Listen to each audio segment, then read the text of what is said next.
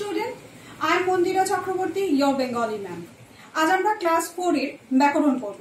ব্যাকরণের নবোদয় ব্যাকরণ, এই যে বইটা, এই বইয়ের fifty one to sixty one অর্থাৎ একান্ন থেকে একষট্টি পৃষ্ঠার মধ্যে আমরা পদ ও তার শ্রেণি বিভাগ এই অধ্যায়টি পাই। আজকের ভিডিওটি পাঁচ আট দু হাজার কুড়ি, অর্থাৎ ফিফথ অগাস্টের লেসন নোটস এর সাথে রিলেটেড পদ ও তার শ্রেণি বিভাগ এই অধ্যায়টি সম্পর্কে আমাদের প্রথমে জানতে হবে। জানতে গেলে আমাদের কি জানতে হবে আগে? পদ কি? আচ্ছা। এর আগের যে অধ্যায়টি আমরা পড়েছিলাম, সেই অধ্যায়তে আমরা বাক্য কি, শব্দ কি, ধ্বনি কি, এগুলো নিয়ে একটা পূর্বাপর আলোচনা করেছিলাম। আজকে আমরা জানব পদ সম্পর্কে এবং পদের শ্রেণি বিভাগগুলো সম্পর্কে। কিন্তু পদ সম্পর্কে জানতে গেলে আগে আমাদের বাক্য কাকে বলে সেটা জানতে হবে। বাক্য কি? না, একাধিক অর্থপূর্ণ শব্দ যা মনে, ভাব প্রকাশ করে। অর্থাৎ যখন আমরা অর্থপূর্ণ শব্দ পাশাপাশি বসিয়ে নিজেদের মনের ভাবকে প্রকাশ করি, তখন তাকে আমরা বাক্য বলি। পদ কি তাহলে? এই বাক্যের মধ্যে যে ছোট ছোট শব্দগুলি বসল বা যে ছোট ছোট শব্দগুলি বসিয়ে আমরা মনের ভাবকে প্রকাশ করলাম, সেই শব্দগুলোকে আমরা পদ বলি। কিন্তু কখন বলি? যখন শব্দের সঙ্গে বিভক্তি যুক্ত হয়। তাই পদ কি? পদ শব্দ প্লাস বিভক্তি মানে শব্দ এবং বিভক্তি। শব্দের সঙ্গে বিভক্তি যুক্ত হয়ে যখন সেই বাক্যটিকে আরও স্পষ্ট করে বা আমাদের বুঝতে আরও সহজ করে তোলে, স্বচ্ছ করে তোলে, তখন সেটিকে আমরা পদ বলি। এই পদকে আমরা মূলত দুটি প্রধান ভাগে ভাগ করে থাকি, দুটি প্রধান ভাগ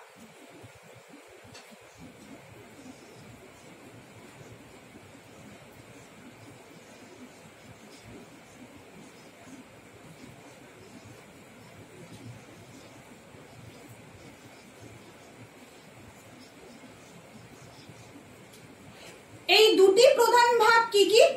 একটি ভাগ নামপদ, অপর ভাগটি ক্রিয়াপদ। এই নামপদের মধ্যে আবার চারটি পদ থাকে।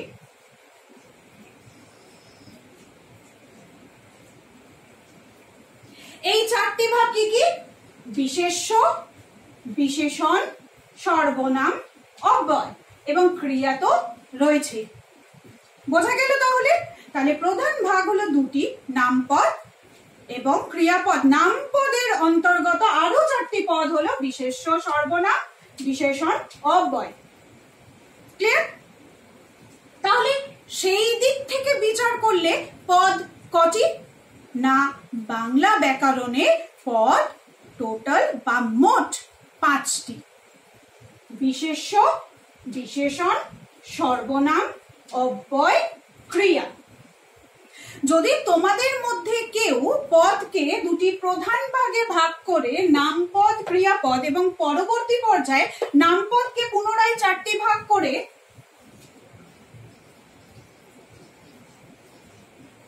বিশেষ্য, সর্বনাম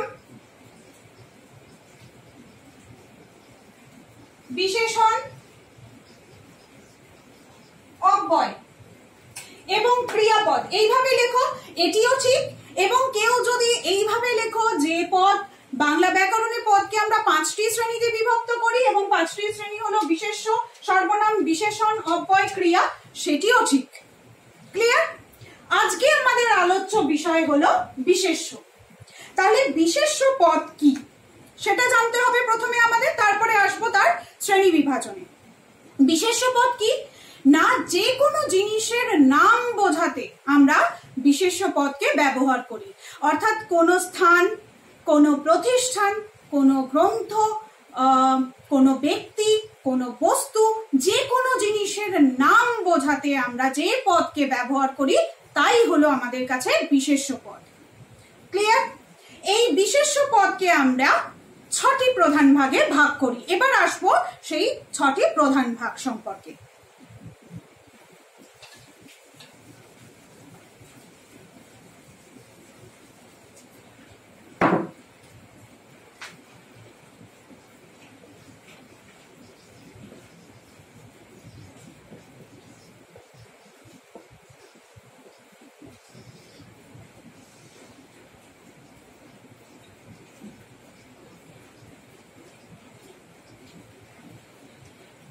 বিশেষ পদ কি? যে কোনো জিনিসের নাম বোঝাতে ব্যক্তি, বস্তু, প্রতিষ্ঠান, স্থান, দ্রব্য যে কোনো জিনিসের নাম বোঝাতে আমরা যে পদকে ব্যবহার করি, সেই পদকে আমরা বিশেষ পদ বলি। এই বিশেষ পদকে আবার আমরা ছটি প্রধান ভাগে ভাগ করছি।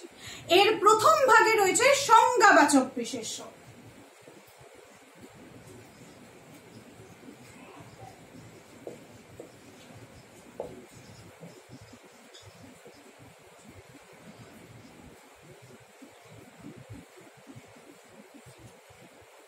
সংজ্ঞাবাচক বিশেষ্য? সংজ্ঞাবাচক বিশেষ্য কাকে বলি? যখন কোনো নির্দিষ্ট একটি স্থান বা গ্রন্থ বা প্রতিষ্ঠানের কথা আমরা বলি বা নাম বোঝাই, কোনো বিশেষ ব্যক্তি, বস্তু বা প্রতিষ্ঠান বা গ্রন্থের নাম বা স্থানের নাম যখন আমরা যে বিশেষ্য পদ দ্বারা বোঝাই তাকে আমরা বলে থাকি সংজ্ঞাবাচক বিশেষ্য। যেমন ধরো হিমালয় পর্বতমালা। হিমালয় পর্বতমালা একটি নির্দিষ্ট বা বিশেষ একটি পাহাড়। বা এইভাবে আমরা বলতে পারি যেমন ধরো রবীন্দ্রনাথ ঠাকুর রবীন্দ্রনাথ ঠাকুর এক এবং অদ্বিতীয়। এই নির্দিষ্ট যখন কোনো বা বিশেষ যখন কোনো ব্যক্তি, প্রতিষ্ঠান, গ্রন্থ বোঝাই তখন আমরা সংজ্ঞাবাচক বিশেষের বা সংজ্ঞাবাচক বিশেষ্য পদের অন্তর্গত তাকে ধরি। যেমন ধরো বাইবেল, রামায়ণ। ক্লিয়ার পরেরটি আসছে কি? না পরেরটি হলো জাতিবাচক।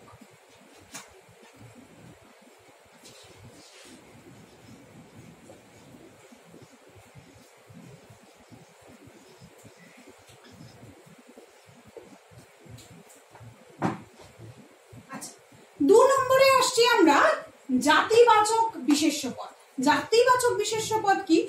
যখন একটি শ্রেণীকে বোঝাই আমরা। যেমন ধরো মানুষ। মানুষ মানে একা তুমিও নয়, একা আমিও না। মানুষ মানে মানব জাতি, সমগ্র মানব কুল। আবার যেমন ধরো, সিংহ। সিংহ মানেই তো সব পশু নয়। সিংহ হলো পশুদের মধ্যে একটি নির্দিষ্ট প্রজাতি। আবার বা একটি নির্দিষ্ট শ্রেণি। শ্রেণি বলাটা ঠিক হবে। একটি নির্দিষ্ট শ্রেণি। এই একটি নির্দিষ্ট শ্রেণি বোঝাতে আমরা যে বিশেষ্য পদকে ব্যবহার করি, তাকে আমরা জাতিবাচক বিশেষ্য বলি। সেক্ষেত্রে আমরা হিন্দু, খ্রিস্টান এগুলোও বলতে পারি। বোঝা গেল?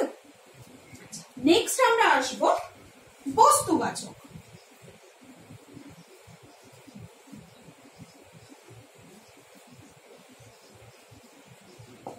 বস্তু মানে কি? বস্তু হলো জড় অর্থাৎ জড় পদার্থ যা প্রাণ।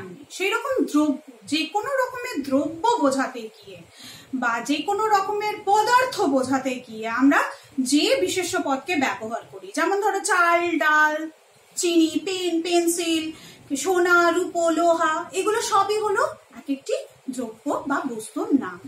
তাই কোনো দ্রব্য বা বস্তুর নাম বোঝাতে আমরা যে বিশেষ পদকে ব্যবহার করি, তাকে আমরা বস্তুবাচক বিশেষ্য বলে।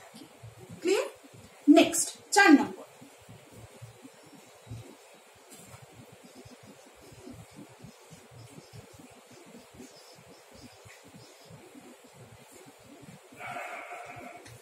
আচ্ছা, গুণবাচক বিশেষ্য কি?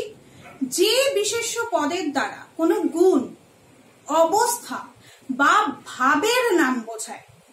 যেমন ধরো সৌন্দর্য একটি গুণ।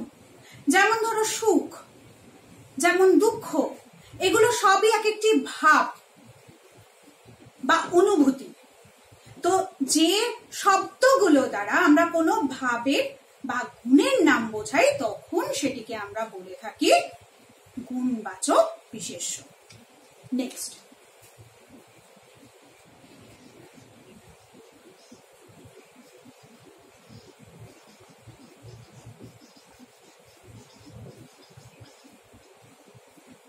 পাঁচ নম্বরে আসছে ক্রিয়াবাচক। ক্রিয়া মানে কি? ক্রিয়া মানে হলো কাজ। তাই তো?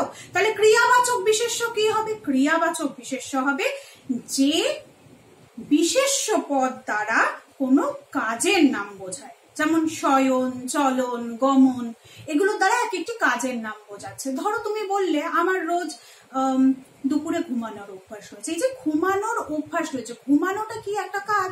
কিন্তু তুমি এই বাক্যের মধ্যে কি করছ? সেই কাজটার নামকে প্রয়োগ করছ। তাই ঘুমানোটা হলো সেক্ষেত্রে ক্রিয়াবাচক বিশেষ্য। বোঝা গেল? তাহলে যে বিশেষ্য পদগুলি দ্বারা কোনো কাজের নামকে আমরা বোঝাবো, তাকে আমরা বলব ক্রিয়াবাচক বিশেষ্য। নেক্সট এবং লাস্ট লাস্ট কি? শেষতম কি? ষষ্ঠতম বা ছ নম্বরে আছে আমাদের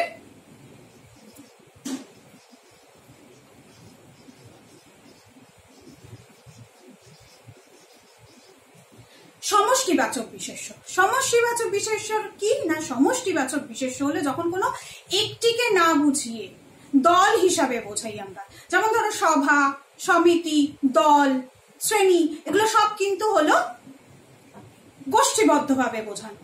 তাই কোনো একজনকে না বুঝিয়ে যখন সমষ্টিগতভাবে বা সঙ্গবদ্ধভাবে বোঝাই, তখন সেটিকে আমরা বলি সমষ্টিবাচক বিশেষ্য। তাহলে আজকে আমরা কি কি জানলাম? পদ ও তার শ্রেণি বিভাগ। এই অধ্যায়টি আমরা পড়লাম, যেটা আমাদের ক্লাস ফোরের নবোদয় ব্যাকরণ বইয়ের একান্ন থেকে একষট্টি পৃষ্ঠার মধ্যে রয়েছে। আমরা জানলাম পদ কাকে বলে। পদকে মূলত আমরা পাঁচটি ভাগে ভাগ করি। ভাগগুলির নাম কি কি? বিশেষ্য, বিশেষণ, সর্বনাম, অব্যয়, ক্রিয়া। এর মধ্যে আমরা পড়লাম কি? বিশেষ্য পদকে, তাই তো? বিশেষ্য পদ কাকে বলে? সেটা জানলাম। আর জানলাম বিশেষ পদের শ্রেণি বিভাগ। ছটি শ্রেণীতে আমরা ভাগ করি এবং ছটি শ্রেণি সম্পর্কে আমরা জানলাম। ঠিক আছে? তাহলে আজকের ভিডিওটি পাঁচ তারিখের বা ফিফথ অগস্টের লেসন নোটসের সাথে রিলেটেড